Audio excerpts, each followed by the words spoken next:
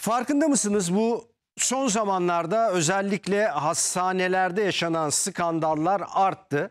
Biz de bu skandalları ekrana getirmeye devam ediyoruz. Şimdi hafta sonu özellikle sosyal medyada yayılan bir görüntü Türkiye'yi ayağa kaldırdı. Neydi o görüntü?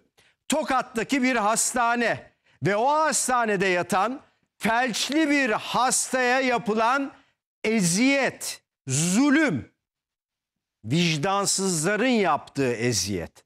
Ve tabii ki hemen yer yerinden oynadı. Sağlık Bakanı Fahrettin Koca'dan da açıklama geldi. O hastane kapatıldı. Şimdi tabii hani o vicdansızların yaptığı eziyet tamam da o hastane çalışanlarının, diğer çalışanlarının da bir şekilde sitemleri var.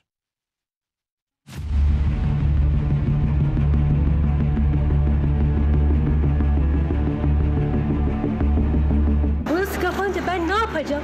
Ben bittim. Felçli hastaya eziyetin bedeli ağır oldu. O hastanenin kapısına kilit vuruldu. Abi hastanede niye çıkıyorsunuz? Şu anda çıkartıyorlar. Kapanacağını söylediler. Çıkartıyorlar. Çaresine bakacağız. Tokat'ta 5 ay önce çekildiği iddia edilen bu görüntüler hasta yakınları tarafından sosyal medyada paylaşıldı. Felçli bir hastaya işkence yapan iki çalışanın görüntüleri kamuoyunda infiale neden oldu. Harekete geçen Sağlık Bakanlığı soruşturma başlatırken özel hastanenin de süresiz kapatılmasına karar verildi. Özel hastanenin faaliyetlerinin durdurulduğunu Sağlık Bakanı Fahrettin Koca, sağlıkta hiç kimsenin güven sarsıcı fiiline toleransımız yoktur açıklamasıyla duyurdu. Bakanlığın faaliyetini sonlandırdığı hastanedeki hastalarsa başka hastanelere sevk edildi.